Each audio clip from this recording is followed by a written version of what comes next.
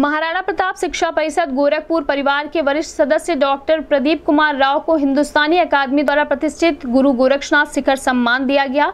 Doctor Pradeep Kumar Rao उन्नीस सौ चौरानवे से अध्यापन के क्षेत्र में हैं। वह उत्तर प्रदेश हिंदी संस्थान के कार्यकारिणी सदस्य दीनदयाल उपाध्याय गोरखपुर विश्वविद्यालय के महायोगी गोरक्षनाथ शोध पीठ की अधिशासी समिति के सदस्य और गुरु गोरक्षनाथ शोध एवं अध्ययन केंद्र एमपीपीजी के निदेशक भी हैं।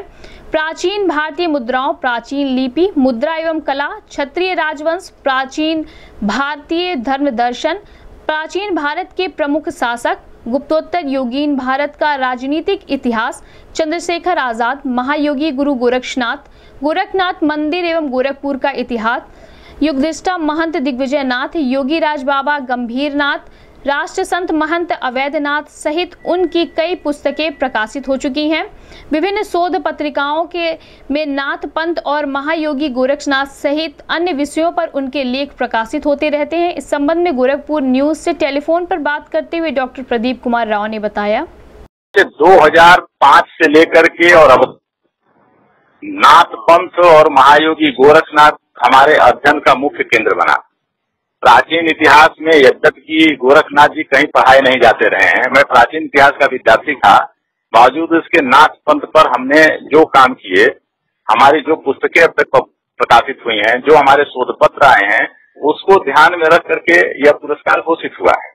और इस पुरस्कार से भविष्य में, यानी आगे आने वाली पीढ़ी नाथ पंथ और गोरखनाथ जी के संदर्भ में अध्ययन करने में रुचि लेगी, शोध करने में रुचि लेगी ये हमारा विश्वास है। हाँ पुरस्कार का उद्देश्य यही होता है कि इस दिशा में शोध कार्य और पढ़ने लिखने, अध्ययन, अध्यापन करने वाले लोग प्रेरित हों और अच्छा काम करें। तो वो उद्देश्य से पूरा होगा। पुरस्कार का उद्देश्य तो तय यही है। देखिए उन्नीस सौ अट्ठानवे के आसपास शोध करते समय महाराजगंज के चौक बाज़ार से महायोगी गोरखनाथ की मूर्ति और कुछ मुद्राएँ प्राप्त हुई थी। वहाँ से महायोगी गोरखनाथ के प्रति अध्ययन करने की का शुरुआत हुआ और वहीं से हमको ध्यान में आया कि महायोगी गोरखनाथ और उनके द्वारा प्रवर्तित नाथ पंथ भारत के सामाजिक, सांस्कृतिक इतिहास में एक महत्वपूर्ण स्थान रखता है और उस पर अध्ययन, अध्यापन किया जाना चाहिए जबकि पाठ्यक्रम में न होने के नाते कहीं भी हम लोगों के ध्यान में तब तक बहुत कुछ नहीं था, केवल नाम सुनते थे। जब उनके संदर्भ में पढ़ना लिखना शुरू किए तब ध्यान में आया कि महायोगी गोरखनाथ हिंदी साहित्य के आदि कवि हैं, वो भोजपुरी के आदि कवि हैं। संस्कृत में उनकी एक दर्जन पुस्तकें थी। गोरखनाथ का दर्शन और योग दर्शन दर्शन शास्त्र में महत्वपूर्ण स्थान रखता है। और यहाँ से फिर महायोगी गोरखनाथ के बारे में लगभग 2005 ईस्वी में हमने अपने अध्ययन का मुख्य केंद्र बनाया है।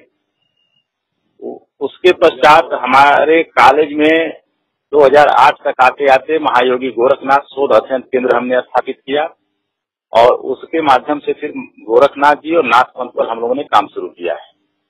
इस संदर्भ में एक तो अंत, आकर के 2011 के आसपास महंत अवैधनाथ अभिनंदन ग्रंथ के रूप में जब नाथ पंथ पर काम करने का अवसर मिला तो करीब चार साल तक नाथ पंथ के विविध आयाम में आए। देश भर से उसके संदर्भ में सामग्रियाँ इकट्ठा हुई। और फिर राष्ट्रीयता के अनन्य साधक मंतवैद्यनाथ अभिनंदन ग्रंथ तीन खंडों में लगभग इक्कीस सौ पेज का प्रकाशित हुआ। जिसके संपादक प्रोफेसर सदानंद जी और मैं रहा। उसके बाद महाराज जी के ब्रह्मलीन होने के बाद ब्रह्मलीन महंत अवैधनाथ स्मृत ग्रंथ प्रकाशन करने की योजना बनी उसमें भी संपादक प्रोफेसर सदानंद गुप्त जी और प्रदीप राव यानी मैं था। ये सब अध्ययन करते हुए हमारे वहाँ से एक हम लोगों ने एक मासिक पत्रिका जो योग वाणी निकलती रही है गोरखनाथ मंदिर से उसमें मैं प्रबंध संपादक के रूप में मैंने काम करना शुरू कर दिया।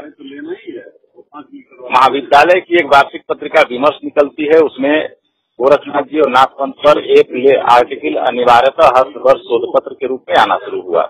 इस बीच दो किताबें हमारी और आई नाथ पंथ का समाज दर्शन और नाथ पंथ हम लोगों के जो पाँच विद्यार्थी ऐसे थे जिनको हमने आग्रह किया कि वो नाथ पंथ पर और महायोगी गोरखनाथ इनके विविध आयामों पर विश्वविद्यालयों में शोध करें।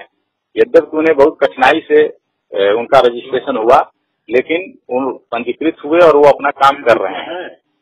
तो इस समय तक जाते जाते महायोगी गोरखनाथ और नाथ पंथ पर हम लोगों ने लगभग जो साहित्य अब तक उपलब्ध रहे हैं, चाहे वो मूल ग्रंथ गोरखनाथ जी के हों, उन्नीस सौ इकहत्तर से लेकर अब तक निकल रही योगवाणी के सभी अंक रहे हों, जो उनके हिंदी के ग्रंथ रहे हैं या उन पर लिखे हुए जो कुछ पिछली पीढ़ी के लोगों के, जैसे हजारी प्रसाद द्विवेदी जी का की पुस्तकें हैं, रांगी राघव की किताब थी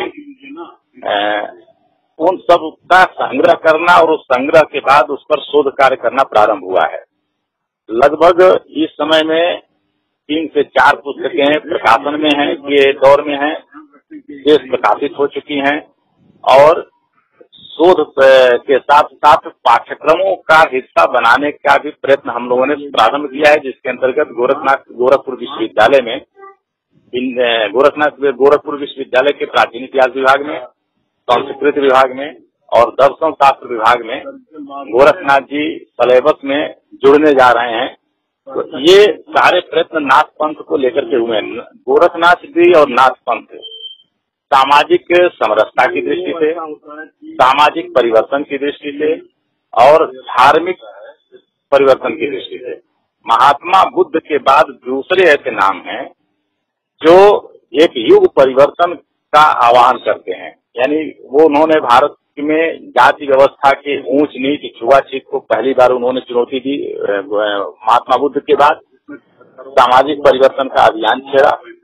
धर्म में बाह्य आडम्बरों को तोड़ते हुए उन्होंने योग का प्रतिपादन किया। इस प्रकार से गोरखनाथ जी को भारतवर्ष के विश्वविद्यालयों में पढ़ाया जाना किसी नए युग के लिए अपरिहार्य और अनिवार्य हिस्सा था। जो अब तक नहीं हुआ है।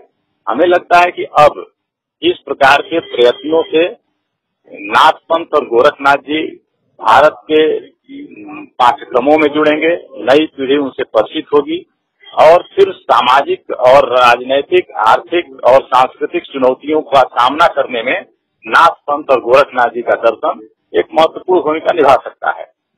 लगभग पचास वर्ष से लेकर के और पैंतीस वर्ष की उम्र में। मैंने कि पिछली पीढ़ी नाथ पंथ पर जो काम की, वो स्वांत सुखाए काम की, क्योंकि कोई प्रोफेशनल कोर्स नहीं था, कोई विश्वविद्यालय पढ़ा नहीं रहा था, कहीं पाठ्यक्रम नहीं थे।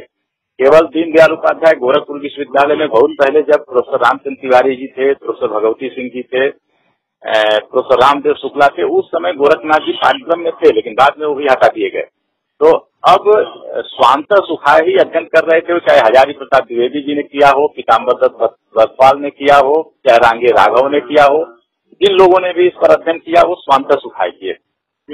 अब उस पीढ़ी के बाद हमारी पीढ़ी में मुझे लगता है कि नाथ पंथ पर काम करने वाले मेरी जानकारी में नहीं है। इस पूरे अभियान से अगली पीढ़ी अब जो आ रही है उसे उत्साह बढ़ेगा और नाथ पंथ और गोरखनाथ जी के क्षेत्र में अध्ययन करने का नया मार्ग प्रशस्त होगा।